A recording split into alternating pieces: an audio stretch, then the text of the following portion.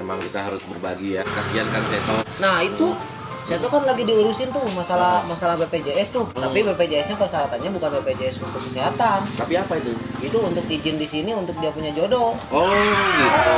Jadi BPJS-nya Badan Pencarian Jodoh sekitar sekitar sekitarnya iya. oh iya iya tapi iya, iya. sayangnya iya. sukanya sama istri orang